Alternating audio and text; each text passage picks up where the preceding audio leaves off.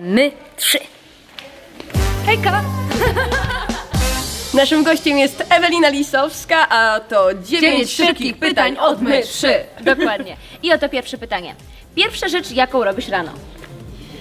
Myję zęby. Dobrze. Moja ksywka ze szkoły podstawowej. Mała.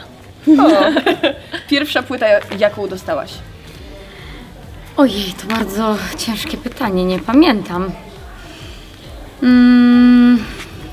Jejku, dziewczyny, nie przypomnę sobie z pierwszej płyty. Na pewno była dobra, jak widać. Tak. Ukształtowała cię. nie, znaczy już nie słucham tego. To następne pytanie.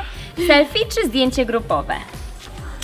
E, zdecydowanie zdjęcie grupowe. Ulubiony przedmiot w szkole. Język angielski. O, to jak my. Tak. A pierwsza szkolna sympatia, pamiętasz? Dużo ich było. e, taka pierwsza, pierwsza. Nie, nie powiem, bo jeśli będzie oglądał, to będzie mi Chociaż troszkę... miasty.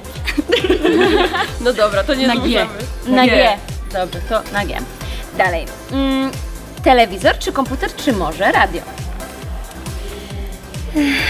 Oczywiście, że radio.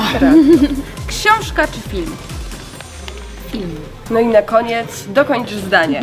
Gdybym była superbohaterem, moją supermocą byłaby.